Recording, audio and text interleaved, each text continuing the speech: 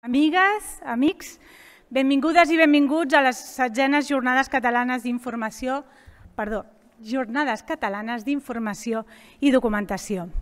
Donem el tret de sortida a unes jornades molt especials. Molt especials perquè creiem que som essencials. A més a més, tingueu en compte que treballem tres àmbits d'actuació. Eh, d'acord amb el subtítol, parlarem de lideratge professional, de comunitats actives i de recursos de primera necessitat, perquè creiem que som recursos de primera necessitat. Són unes jornades que han estat possibles gràcies a un treball en equip, fonamentat en els valors d'aquesta Junta 2024, que són el treball, la tenacitat i la transparència. En tot, en tot aquest engranatge voldríem fer un especial esment als nostres coorganitzadors, que són la Universitat Politècnica de Catalunya, que ens ha cedit un dels seus espais més emblemàtics, i després el Departament de Cultura de la Generalitat de Catalunya, que ens cedeix els espais de la Biblioteca Pública Carles Rahola de Girona, que com sabeu eh, s'hi duran a terme eh, la tercera jornada la tercera jornada d'aquest event. Finalment, i una vegada feta aquesta primera salutació, Voldria donar la paraula al senyor Joan Gispets, vicerrector de Política Universitària de la Universitat Politècnica de Catalunya, el senyor Josep Vives i Gràcia, director general de Promoció Cultural i Biblioteques del Departament de Cultura de la Generalitat de Catalunya i finalment farà l'obertura el senyor Francesc Xavier González Quadra, president del Col·legi Oficial de Bibliotecaris i Documentalistes de Catalunya. Gràcies per haver vingut i comencem. Gràcies.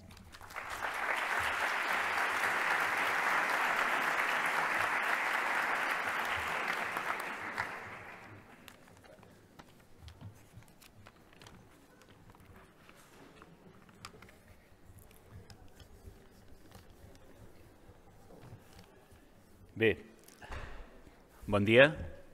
Benvolgut president del Col·legi Oficial de Bibliotecaris Documentalistes de Catalunya, membres de la Junta, senyores i senyors.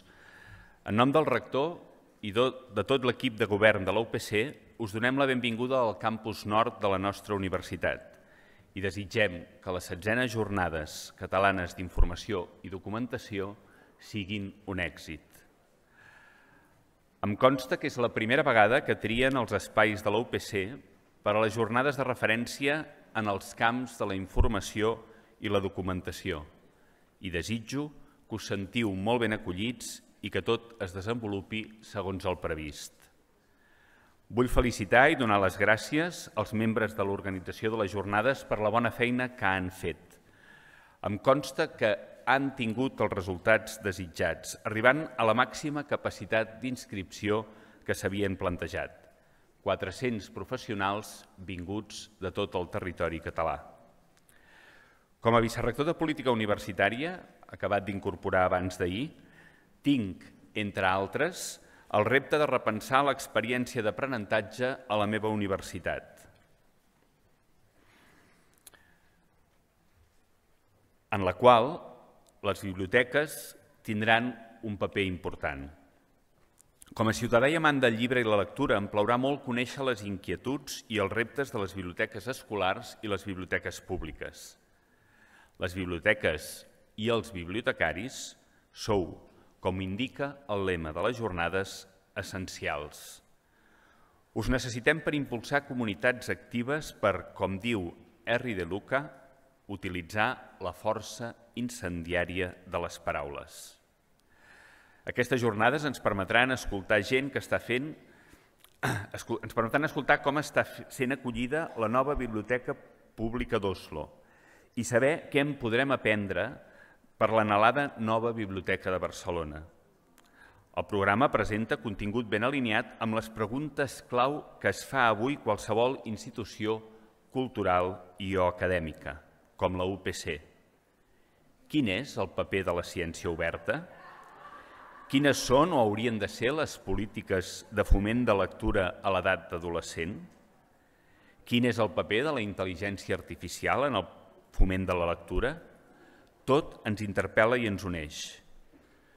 Avui, els 118 professionals vinculats a les nostres 12 biblioteques universitàries tenen la possibilitat d'escoltar les novetats del sector, la nostra directora de l'àrea de Cultura i Comunitat moderarà la taula rodona sobre biblioteques universitàries i ens anirà bé tenir, en quilòmetre zero, respostes a preguntes que totes les universitats ens estem fent.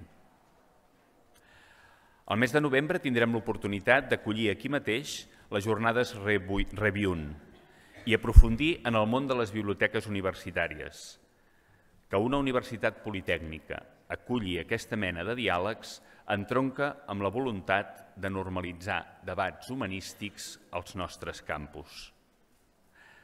Que les biblioteques públiques incorporin més divulgació científica i tècnica és una aliança que necessitem explorar conjuntament. Que les biblioteques escolars deixin de ser una promesa per ser una revolució també és feina de tots. Així doncs, sigueu molt, vinguts, molt benvinguts a l'UPC i que les jornades siguin un gran èxit. Estarem atents.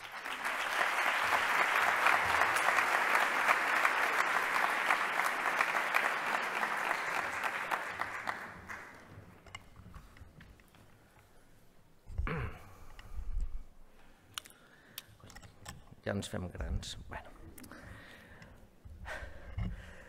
Bon dia. Vicerrector de Polítiques Universitàries, Joan Gispet, Xavier González, president del col·legi, Carme Galve, també del col·legi, col·legues, bibliotecaris i bibliotecàries. Bon dia a tothom. Gràcies en primer lloc per convidar el Departament de Cultura de la Generalitat a donar la benvinguda en aquesta nova edició de les Jornades Catalanes de Documentació. Aquestes jornades, com ha avançat el, el vicerrector, tindran lloc aquí, a la Universitat Politècnica de Catalunya i a la Biblioteca Pública de Girona Carles Rahola, dos espais que tenen especial rellevància personal per a mi. La Politècnica, perquè és una de les institucions que més m'ha marcat professionalment com a bibliotecari, gràcies als companys i companyes amb els quals vaig treballar durant uns quants anys, per allà, i per motius obvis la Biblioteca Pública de Girona, que com sabeu és una de les tres biblioteques que gestiona directament el Departament de Cultura. Essencials. Aquest és el lema que enguany ens proposa el Col·legi per tractar una multitud de temes professionals que ens preocupen i ocupen a tots.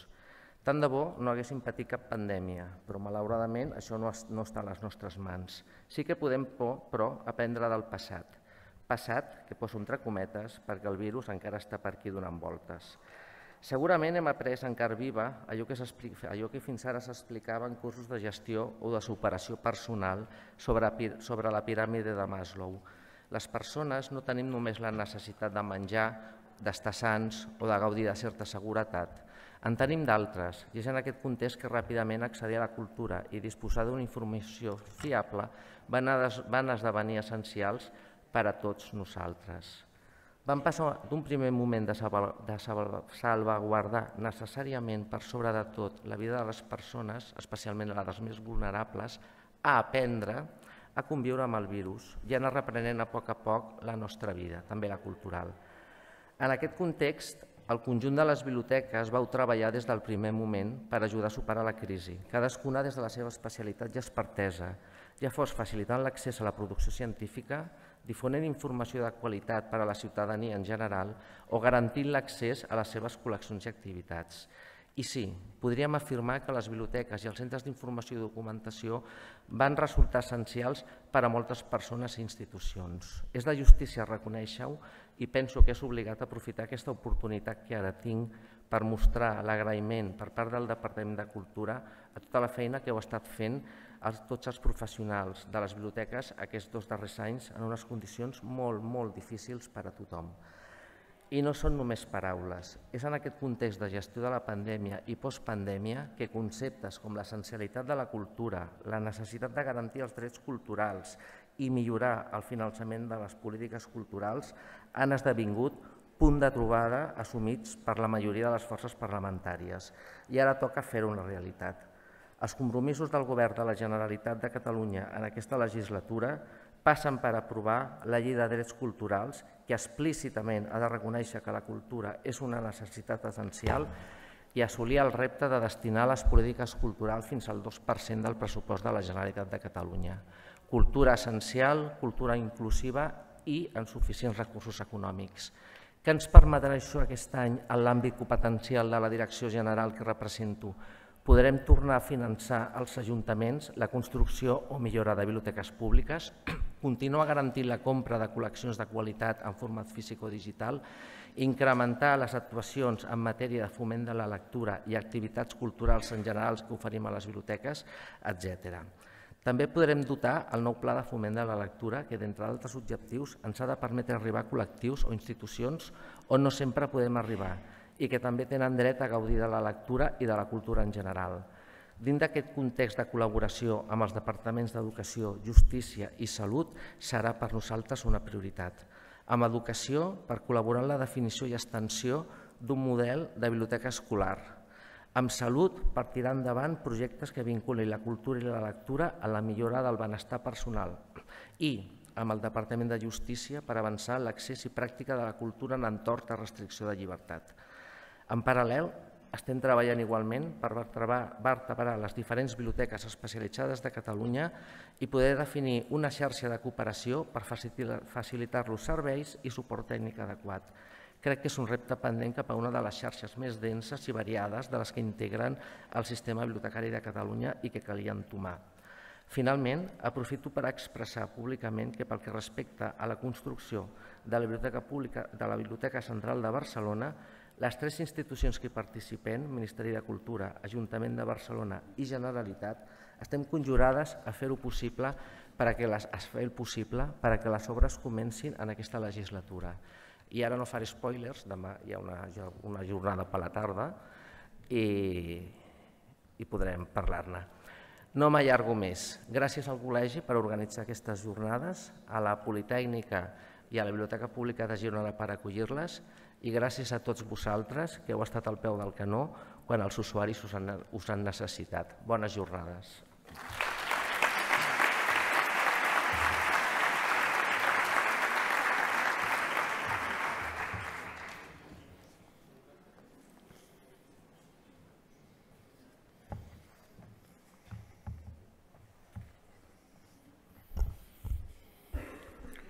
Hola, bon dia a tothom. Gràcies, Carme. Vicerrector, director general, participants, ponents, moderadors, patrocinadors, voluntaris, staff, junta, gràcies per ser-hi. Diuen els que saben de discursos que els agraïments són el primer a mencionar. El meu Parlament o manifest, que no discurs, és una norma i sentit agraïment. Un agraïment sincer a tota la professió, a tota, i de tots els àmbits. Un merescut agraïment pels durs temps que hem viscut i que estem superant. Només la nostra vocació innegable, esperit de servei, resiliència i enorme sapiència ens han permès superar el marasme de la pandèmia des de les biblioteques públiques, des de les biblioteques universitàries, des de les biblioteques escolars especialitzades, des de la nacional, des de les patrimonials, l'esforç que hem fet d'adaptació i de superació ha estat majúscul. No em vull estendre més, no, no, el meu no és un discurs, diguéssim, de, de, de contingut, sinó que és un discurs d'agraïment i sobretot de retrobament. Ens retrobem després de dos dos anys i mig de, de, de moments durs. Em fa molt de goig, no us ho haig de dir, no us enganyaré, que des del col·legi sigueu tants i n'hagueu vingut tants i tantes. Uh, re, dir-vos que us agraeixo molt que esteu aquí. Crec que el programa és, és bastant llaminer, em sembla que ens ha quedat bé, per què no dir-ho. Espero que el gaudiu i que res, que estem aquí, sobretot eh, que ens retrobem, perquè al final les jornades sobretot és un retrobament professional. Val? Moltes gràcies i gràcies per ser-hi.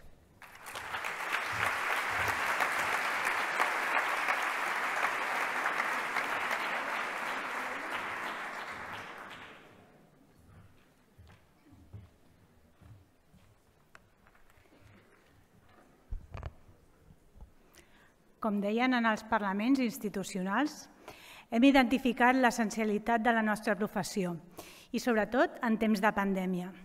Ens hem adonat que la nostra professió rau en la comunitat i és per això que hem volgut convidar el Nutescansen, que és el responsable de les biblioteques d'Oslo. La xarxa de biblioteques d'Oslo consta de 22 seus, durant aquests últims set anys s'han vist renovades, eh, però el gran, la gran joia de la corona és Deichmann Björvika, que és la nova biblioteca central en 20.000 metres quadrats i que es va obrir al, al juny del 2020, tot just quan nosaltres reobríem els nostres espais. Ens agrada molt aquest model de biblioteca perquè dona en especial atenció la interacció social. El nostre convidat centrarà la conferència en el procés de disseny i desenvolupament de les sales, però també en les competències del personal, en l'ús de la tecnologia i sobretot en la implicació dels usuaris. Finalment, dir-vos que aquesta conferència es farà en anglès, però també podreu, trobar-la en breu al, eh, al canal de YouTube del Col·legi Oficial, o sigui que no patiu. I ja només em queda donar la paraula. Good dag, Nout. Welcome til Barcelona.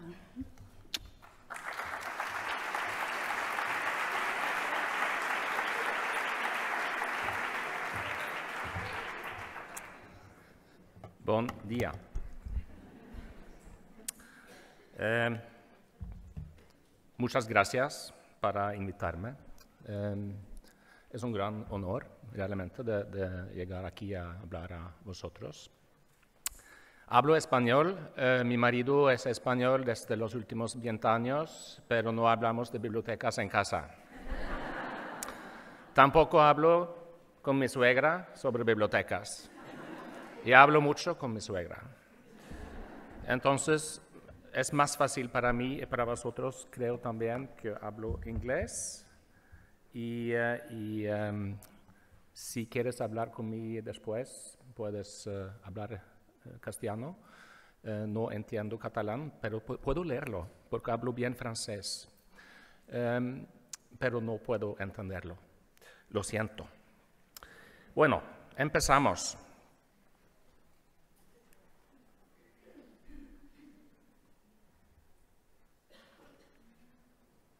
No lo sé si tengo un problema técnico.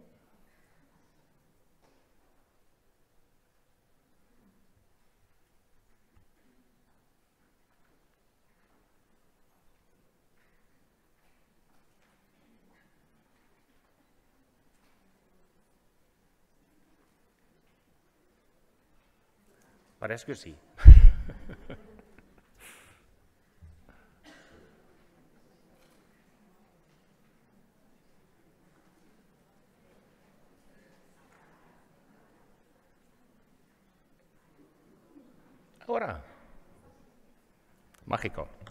Okay, we change to English. Uh, I will start saying something about uh, Oslo. How many of you have actually been to Oslo? No, you should come. Okay, the city of Oslo has 700,000 inhabitants. If we count the surroundings, it's approximately 1 million uh, inhabitants. We have one main public library and 18 public branch libraries, two federal prison libraries, and also a federal hospital library in the Central University Hospital. We are uh, in the public library, which is my responsibility, 370 employees, and the, the library network is 100% founded by the city of Oslo, except, except the federal prison and hospital library. The annual budget uh, for our organization is 43 million euros. We expect this year some 4.5 million visits in the library network, and we distribute approximately 1.6 million books in different formats. And uh, before the pandemic, uh, in the last normal year, I would say, we produced some 7,000 events uh, in the library, from spanning from literature festivals to programs for schools and kindergartens. Um, shortly, by distribution and visits, Deichman, Deichman is the name of the library. Uh, it's named after uh, the founder of the library is far the biggest and the oldest cultural institution in Norway. Um, and approximately 55% of the population in the city use the library. Um, In addition, we, I said we, we are actually the oldest library, uh, founded in 1785. Okay, let's see if it functions now. Yeah. Okay. Many cities are currently rediscovering the public library. I will talk of some of these cities later. I will, during this lecture, talk about how you can manage to convince the owner of the library, and more importantly, the user and non-user, what a public library is. Moreover, what role a public library can play in our times. During the pandemic, all libraries in Oslo stayed open to the public. Um, and um, we were actually the only public service open together with pharmacies, food stores, and public transport.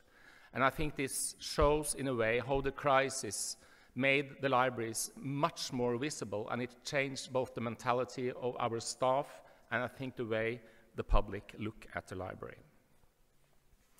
So I would say that the pandemic has repositioned the public library, and we have a momentum.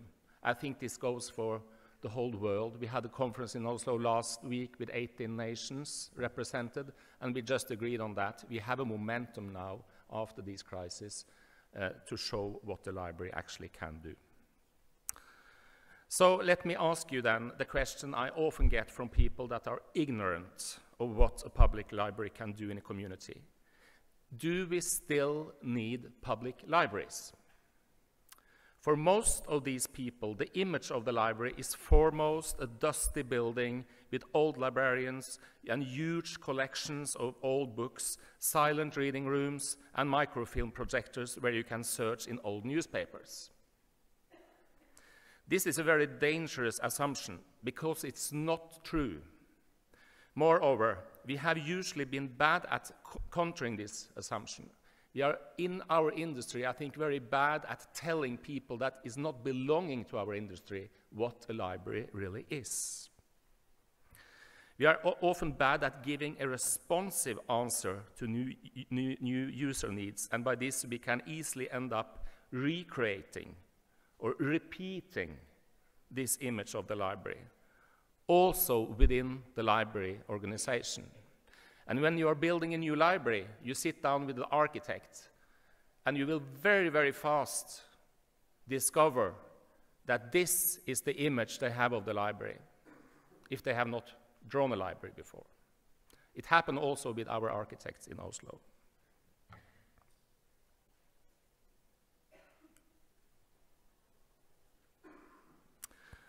The public library sector has evolved enormously during the last decade. And more important, the public libraries have always been the main gateway for children and young people to enter the realm, realm of literature, storytelling, and perspective.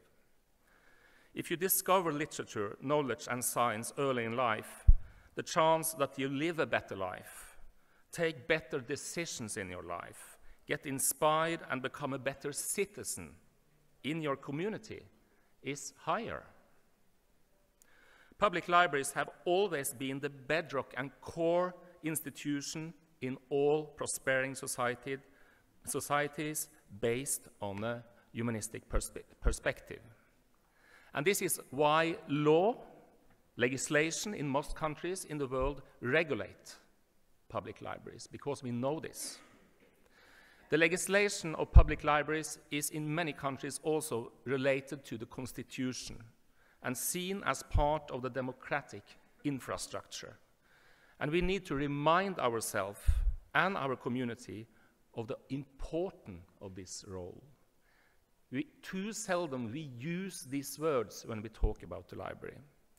And a city without a library is a, like a bird without wings. But the main problem of most and all library directors at the time around the world is, however, this one. This is not a public library. This is a cell phone. Public libraries have, since antiquity, primarily been social spaces. A public library consists of a collection of books stored in the building and a lot of space for dialogue, debate, interaction, learning, sharing, and talking about the past, but foremost about the future. A library is mostly about the future. You may find channels and ways of communicating via your cell phone. However, the danger, or the chance that you meet someone disagreeing with you, challenging your perspective, or inspiring you is minor. Probably an algorithm directs you into a digital bubble, an echo chamber, that confirms your opinions and perspectives. It is, in my opinion, extremely naive to believe that this cell phone can replace one of our civilization's core institutions, the public library. Three Scandinavian cities have, on this ground, decided to redefine and modernize the public library as a social and democratic space. The public libraries in Aarhus in Denmark, Helsinki in Finland, and Oslo in Norway have been taking and talking about the new public library concept for two decades, and we have been cooperating closely. I will show you the images of the three libraries. They are, they are spectacular buildings. Inside, they are also spectacular, but the solution, the way we have solved the programming, is very different. But the core idea, what I'm going to talk about, the transition, is the same.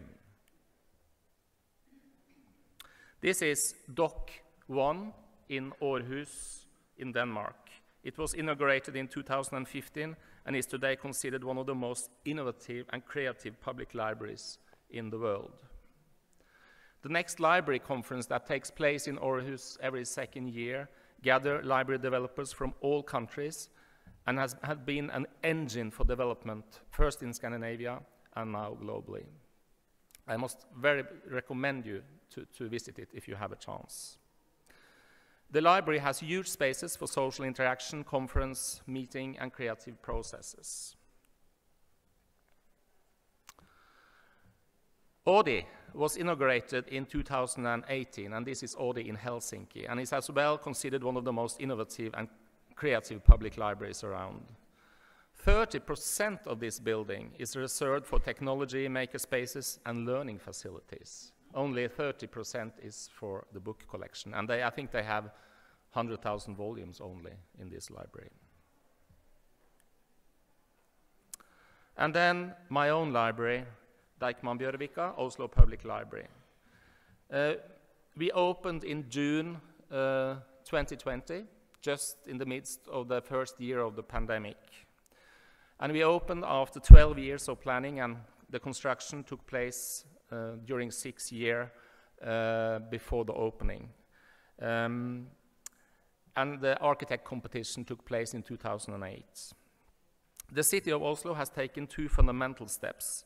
Firstly, our owner has acknowledged that the organization of the library space, which is room for people and not for storage of books, is a prerequisite for the public library to fulfill its mission. The old library that we moved from was organized quite the opposite the new building. In this building, 70% of the space is for the public, social spaces. Only 30% is back uh, office. We have no closed stacks at all. In the, in the old library, it was opposite. Secondly, the city of Oslo have chosen to do as Helsinki, Amsterdam, Seattle, Aarhus, and Birmingham, putting the library in the middle of the strongest traffic flow in the city. As of today, 50 million people are in transit in this area on a yearly basis. Oslo is a small country. I, I mentioned that, uh, or a small city, I mentioned 700 um, inhabitants. So 50 million in transit, it really tells you that we are just in the middle, in the hub where everything goes on. It was designed by the architects Lund Hagem and Atelier Oslo. Uh, it's 23,000 square meters gross, 13,600 square meters net functional area, uh, 10,000 square meters for the public, and the square in front uh, covered with a thin layer of water during summer and ice for skating during winter, also an important social space. The library has five floors above ground uh, and two lower floors below ground. And the capacity is 2,000 simultaneous visitors, and we have seating for 1,100 simultaneous vi visitors, but uh, also a lot of other facilities. So when it's full, it's basically 2,000 people that are in the library. In the old library that we moved from, we had a capacity for 300 seats. So you can then understand the change. The cost of this library was 350 million euro.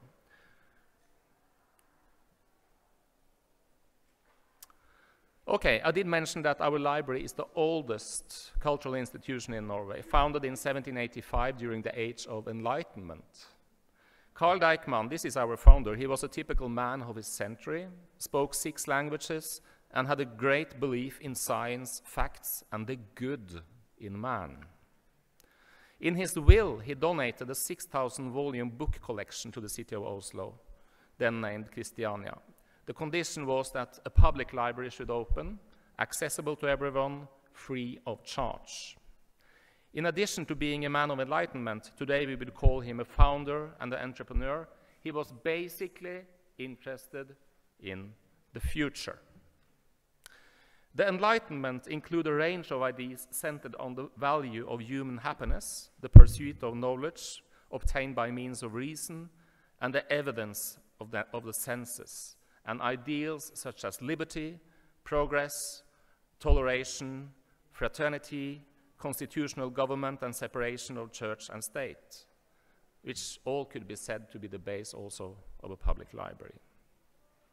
All these values are still at the core of our modern institution, but they are not at the core of digital media and a cell phone, I'm afraid.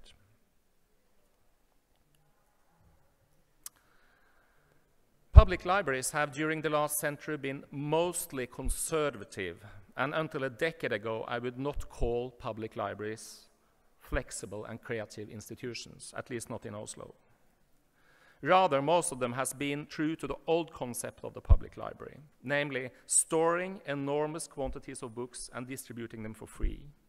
Old libraries have any book you can dream of, just in case somebody passes and look for that book.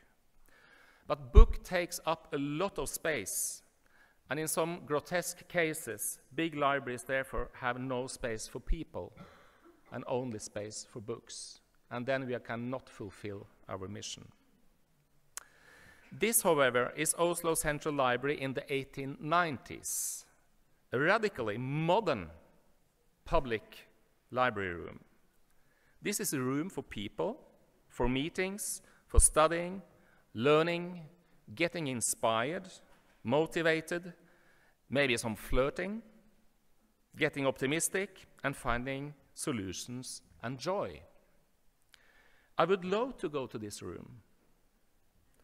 By some strange reason, we stopped building these kind of libraries during the 20th century, after we got legislation for public libraries, which of course was good we also got regulations, standards, and almost forgot that libraries are for people and not for storing collections. The library sector during the 20th century, at least in Oslo, forgot that the library is a social space. This picture is from the youth department in the central library in Oslo in the 1890s.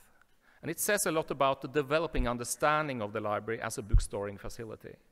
Here, the books are virtually protected from their users, and the power relationship between the librarian and the borrower is quite clear. The librarian is the boss here. An important question we must ask ourselves is how self understanding in the library sector developed during the 20th century. During the first decades of the 20th century, the library professionals emerged and the libraries in most of Europe received a set of standards and legislation. And then we gradually also got a public library inspection, at least we got in Norway, in most countries that sanction the practice. This is happening in parallel with the construction of the old main library in Oslo, which was completed in 1933, and which we had to move from and leave now. So gradually, the social space disappeared, and libraries became, like I said, bookstoring facilities. Let's jump, jump forward 131 years to the branch library we have in the central borough of Tøyen in Oslo. This is another example of a very good library room. Deichman Tøyen is one of our smallest but most popular branch libraries in Oslo. This picture was taken before the pandemic in January 2020, a Thursday night at 9 o'clock in the evening. All branch libraries in Oslo are staffless, without staff, after 7 o'clock in the evening, and we then close at 10 o'clock. And you can use your library card to enter the library. This is a social room. It's an extension, I would say, of your home. On the 8,000 square meter in this library, we have 300,000 visits a year, and more than 25% of the visits come in the staffless time when we are not there. So this is the new living room in this community, the new post office, the new church building, the new district house, the new leisure club, the new meeting place for associations. So, do you see the similarity?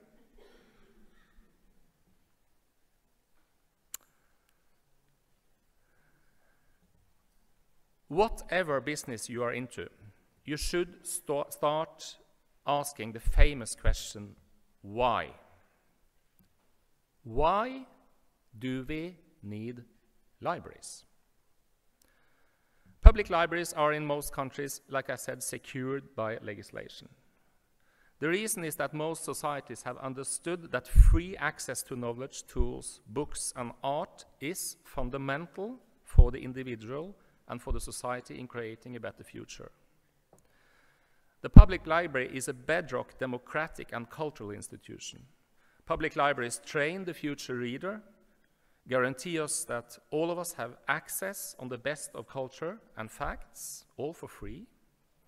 Public libraries produce more equality, more integration, and more crossover meetings between people with different backgrounds, religions, sexuality, political opinion and so on.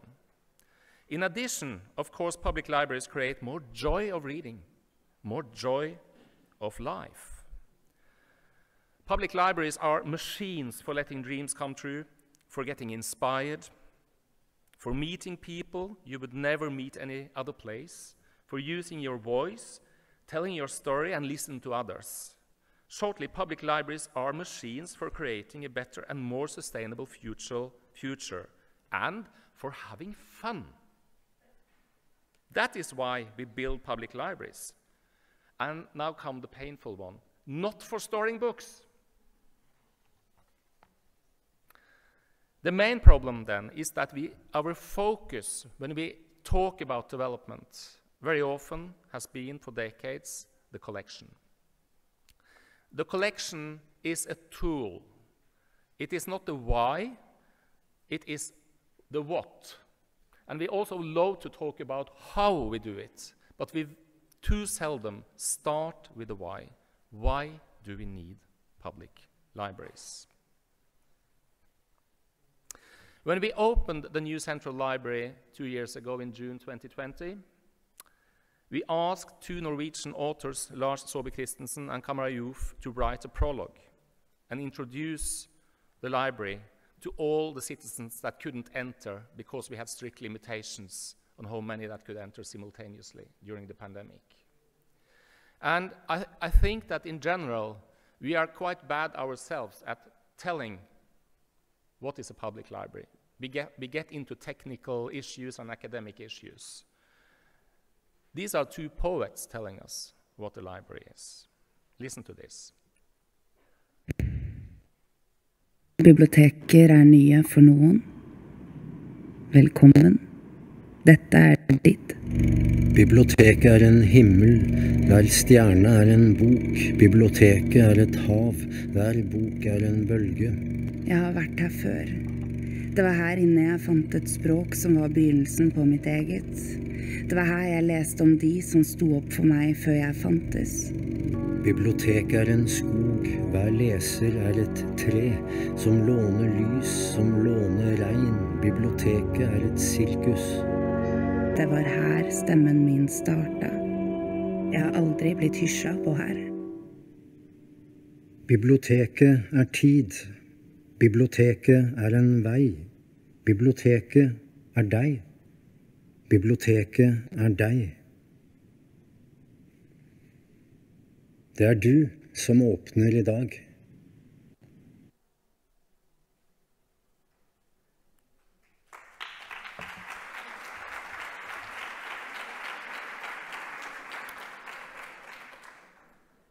This model, shown on the screen now, shows in a very simplified way the transition from the traditional layout of a library building to the multi-purpose social space found in many new libraries.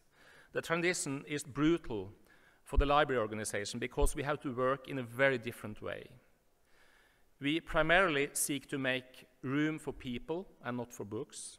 We create public spaces that are somewhere in between at home, a little relaxed and cozy, and at work or at school. Oslo public libraries are now third places, I would call. We are deinstitutionalizing the library. We go from being the owner of the library to hosting and facilitating what happens there. We give up our power and position by creating good digital self-service solutions, and we make sure that others use the library as their arena and platform and allow them to provide their content. So we are not only the provider of content. We create a space for experiences and learning where the books and lending of books are only a part of the offer and not the core. I'm going to show you now uh, some pictures. Um, it should be a film.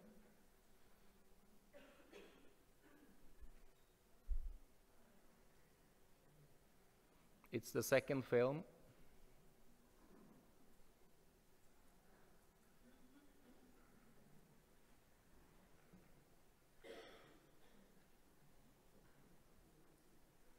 Okay.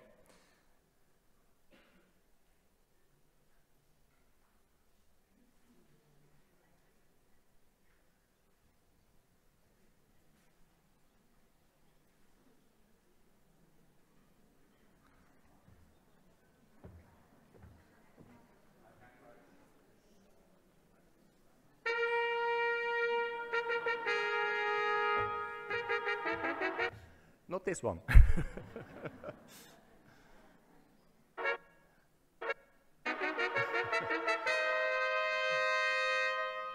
Not this one. No.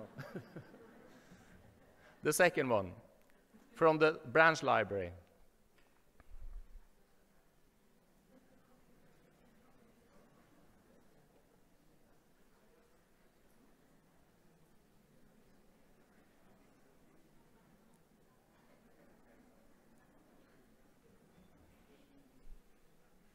Okay, I can start talking about it. It's, it's a, will, if you will see it, you will see a branch library uh, that opened in January 2018. It's in a, in a suburb called Stovner. And it's uh, really a social space, a very good example of a social space. After the opening, the visits doubled, and the last year before the pandemic, we had also there 300... No, it's not this Velkommen. Dette er ditt. Biblioteket er en himmel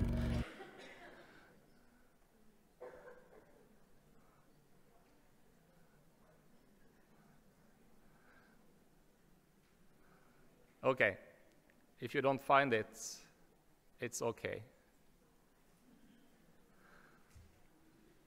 At least uh, the number of visits uh, went from 1,000 visits, 100,000 visits a year to 300,000 vis visits a year in the 12,000 square meter library. Uh, only 50% of the visitors actually use a book when they are in this library. So it's more a room for discussion, debates, learning, sharing, and spontaneous activity. um, often initiated by the citizens themselves. The owner of the modern library is not the librarians, I would say, it is the patron of the library. Uh, we are facilitators, hosts, and co-creators. Um, we are um, co-creating the library together, I would say, with the patrons. And people show up and they love it. Uh, we have had in all the branch library network since we started this uh, change, an increase in visits. There you have it. Great. Woo. Let's, let's run the movie. so, that's the branch library. It's actually located in a shopping mall um, in an area of Oslo with a lot of social issues, with very high immigration. So it's, it's really a, a part of the city where, where the library can play a major role in certainly make people and young people come together and feel that they are kind of having their room, a very good room. So doing this transition in, in the branch libraries, we had a 40% increase in visits uh, during the last years before, uh, before the, the, the, crisis.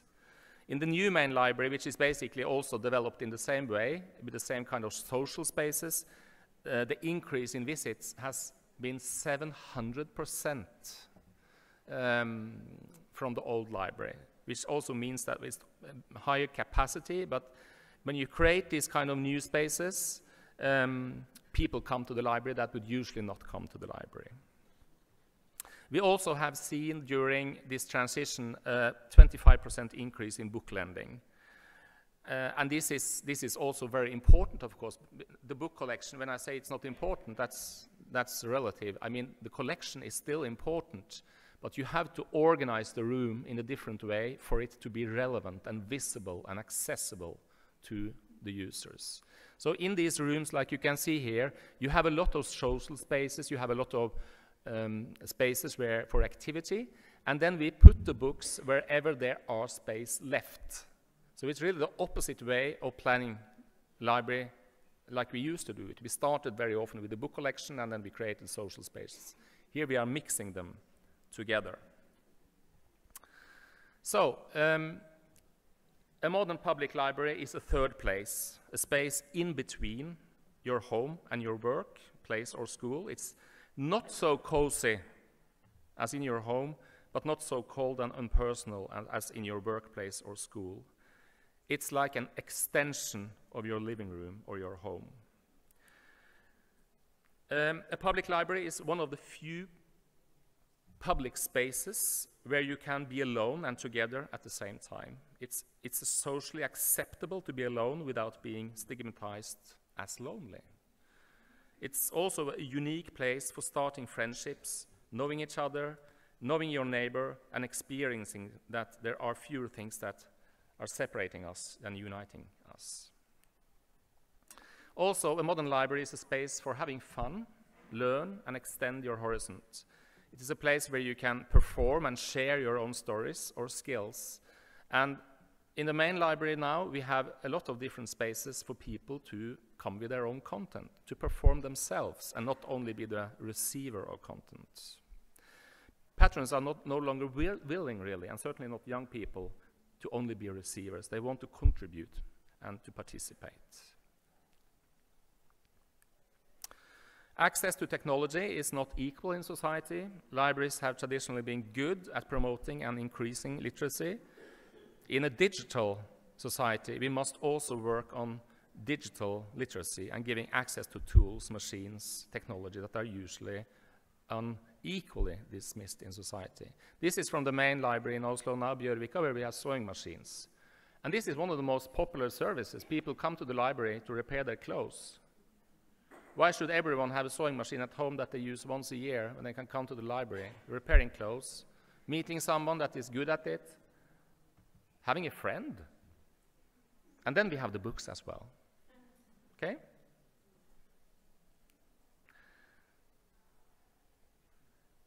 And also having access to technology, modern technology. We have three podcast studios, for example, in the new library. Uh, and we have in branch libraries as well, where people can get trained in creating their own podcasts. Uh, and then we, know to, we need to know how to do it as well, so we have to train our staff for that.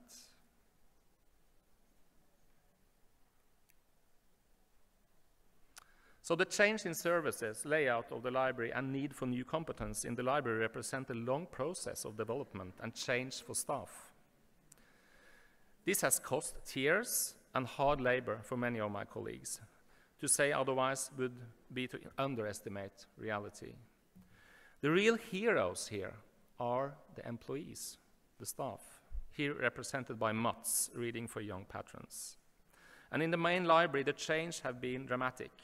I mentioned that it's 20,000 square meters building with four times larger public spaces than the old library. We have doubled the opening hours. We open at 8 in the morning and close at 10 in, at night during weekdays. We open at 10 on Saturday and Sunday and close at 6, all year around. We have six times, seven times more visitors, but basically the number of staff is the same. So you can imagine the change for the staff from the old library having maybe maximum 1,000 visits a day to the new library where we can on a good Saturday have 11,000 visits in one day. So I will show you now another movie. Uh, you will have a visit to the new main library. It's my colleague Merete, which is head of the, of the central library, that will take you on a tour. Um, and uh, explain in English what you will see. Welcome to Oslo, MA, here in Bjørvika, close by the ocean and next neighbor to the Opera House and the Munch Museum. We wonderful building, six floors filled with books, magazines, film, news, and wonderful places where we share, laugh, and meet other people. Here you can find all kinds of tools to enrich your life and to participate in the society. I will show you some of the more playful areas in the library and a wonderful place to start is on the third floor with the makerspaces.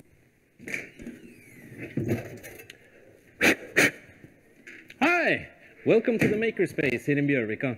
My name is Asle and I work here at the Makerspace. We, here we have a lot of fun activities. Hey, come on, let's go and see. Here in Bjørvika, you can make your own 3D models. We have equipment for that here. Or you want to sew your own clothes. We have a lot of things. When you've done your 3D modeling, you can come here and use all of our 3D printers. Or if you want to make some artwork on your new sewn clothes, we have equipment for that.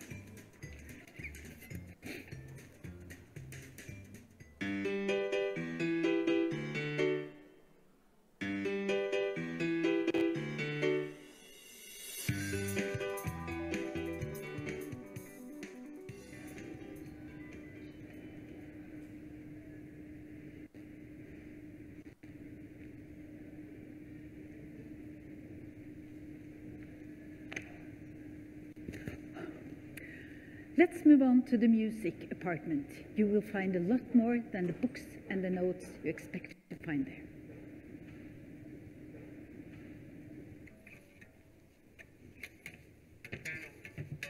Hey there! Welcome to the music department here in Bjørvika.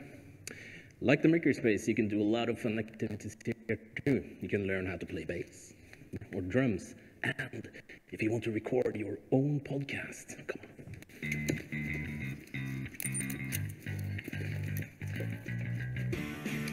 You can do that here at our brand new sound studio.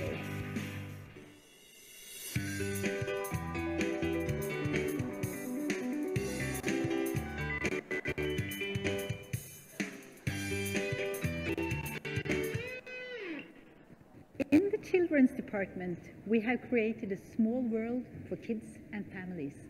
And I do believe we have about everything, almost everything, to make learning and reading fun and playful. The children's department Here can play big and small screens. In the auditorium, you can listen to soundbooks. The department is full of literature for children. And it's even fun for grown-ups.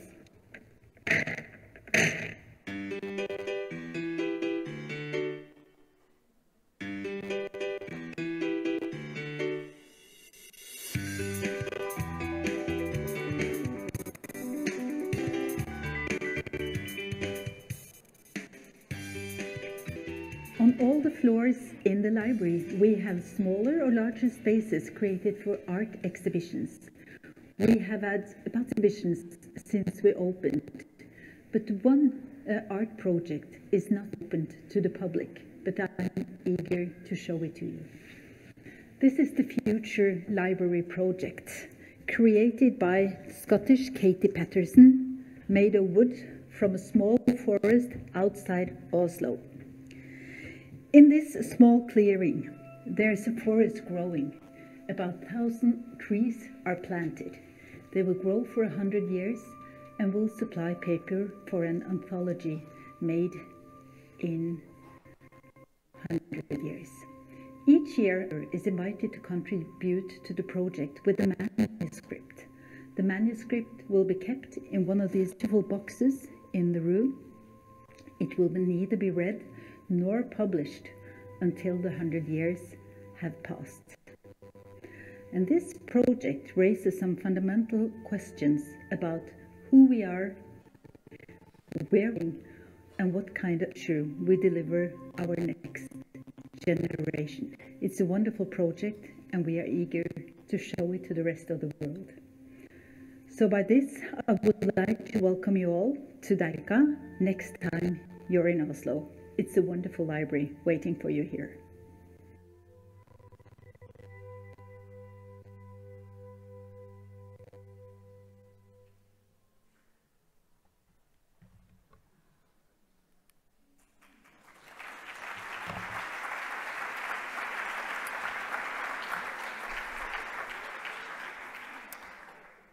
I will um, end my lecture talking about our new strategy um, for the time span 2021 to 2025.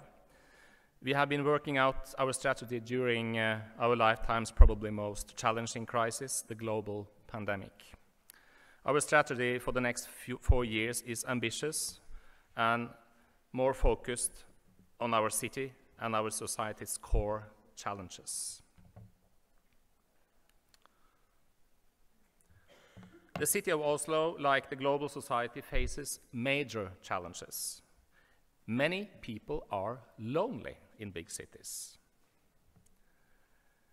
People have less physical contact, and we at Deichman must think anew about how we can contribute to creating unity and stronger local communities and more commitment among people. 50% of the households in the city of Oslo consists of one person. In our new strategy, we will build bridges between different groups in the population and make neighbors know each other better.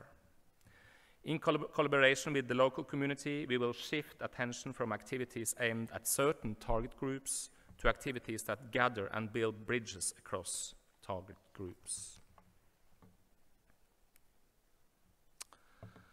However, to obtain this goal, we must reflect Oslo's diversity. Oslo is a very diverse city. 30% uh, of the population are immigrants. Deichman should reflect the population in content and organization, and we will go from talking about diversity to be diverse. So we are currently hiring people with cultural competence, language skills that we need in the library to be representative.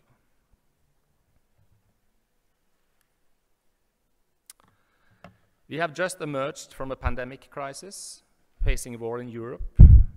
The most challenging topic, however, is the climate crisis. Sharing economy may be a part of the solution. Sharing is at the core of public libraries and it's sustainable. And we will make it easier for the population to share. It should be easy for Oslo's residents to share knowledge, ideas, views, and experiences. And to succeed, to succeed in this, we must actively explore sharing technology. We must invite volunteering into libraries, and we must let users fill our spaces with their own content. The core values of modern de the democracy is actually in crisis. For decades, researchers have monitored different populations' opinion on how essential it is to live in a democracy. For decades, they have done this. And the percentage, percentage has fallen in most countries, like you can see here from the 30s. The new pictures shows us the news picture shows us how fragile dem democracy can be. Alternative facts, fake news, and echo chambers on social media are phenomena that polarized and put democracy to the test. Fewer people participate in public debate, and many tend to seek information from sources with which they are already agreeing. We are becoming members of bubbles, social bubbles. The library will create commitment and contribute to diversity of voices in Oslo. We will uh, counter echo chambers and encourage people to get actively involved in public debate. And certainly young people, they need to dare to speak up, use their voice, and we will help them doing that. We will have systematic cooperation with both local and national elected bodies in the library, give politicians and citizens a platform for dialogue in the library. And we will be the natural arena for meetings between citizen and elected representatives. This picture is from the party leader debate at the end of the national election last um, year. One of the national broadcaster rented space in the library for this event, and I think that's a very good example of the, what, how a public library can actually house a democratic event, important demo democratic event. Our last goal is that we must protect freedom of expression. All voices must be allowed in the library as long as they are within the legislation. And we should not exclude voices in the library. We know that words have consequences. Therefore, the job and assignment have never been more important than right now. As a library, we manage knowledge. We must be fact-based debate arenas. We will make science and professional knowledge available through collaboration with knowledge institutions like universities. We will establish debate series for and with young people in the libraries. And by facilitating dialogue and dissent, facts and source criticism and contributing to open debate, we will, I think, play a very important role in giving the people of Oslo a basis for independent opinions and attitudes. The library is very, very important, I think, in our times. So, this is not a public library. Do we still need public libraries? Yes, we do that. If we have time, we will now see the full version of uh, the film from the main library that you tried to show earlier.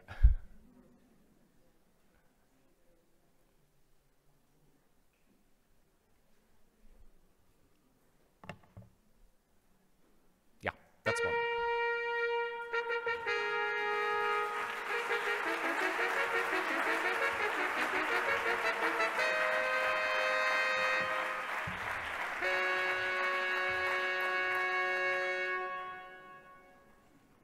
Biblioteker er nye for noen. Velkommen. Dette er ditt.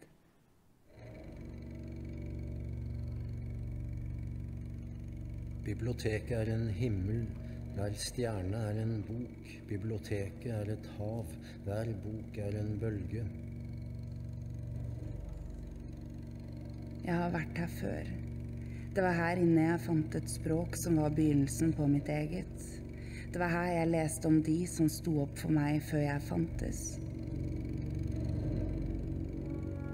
Biblioteket er en skog, hver leser er et tre, som låner lys, som låner regn. Biblioteket er et sirkus.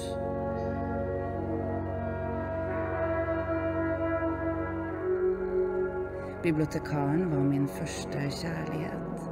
Det var her jeg var fri. Det var her stemmen min starta.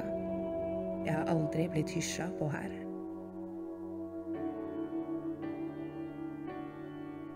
Biblioteket er en holdeplass.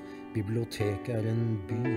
Biblioteket er en himmel, hver bok er en sky. Biblioteket er høyt, biblioteket er lavt.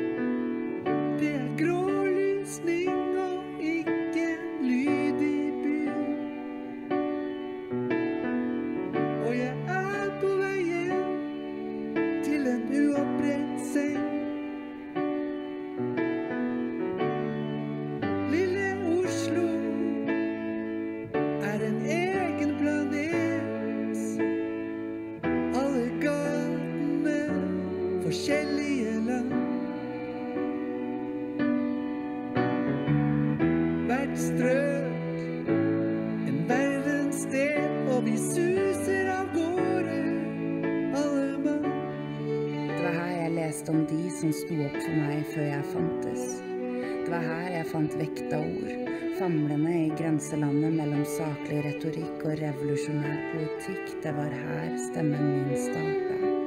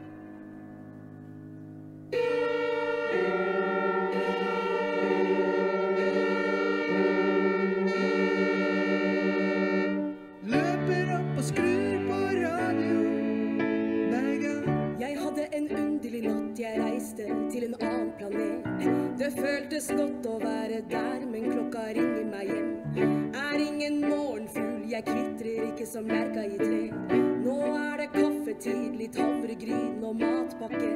Til lille jenta mi, hun ler for mamma stresser litt. Nå må du kle på deg, jeg kan hjelpe til, men hun styrer med sitt. Hun bærer strømpebuksa på hodet, ja, jeg blir litt oppgitt. For klokka tikker så mye fortere enn den gjorde sist. For vi må suse opp.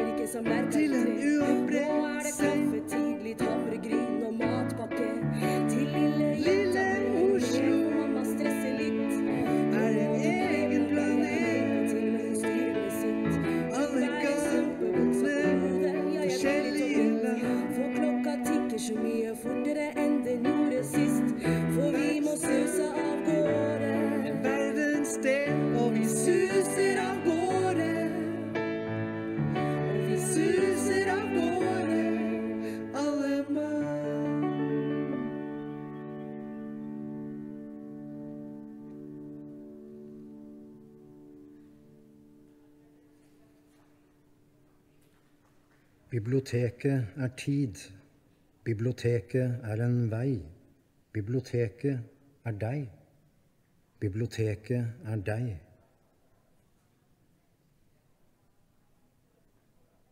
Det er du som åpner i dag.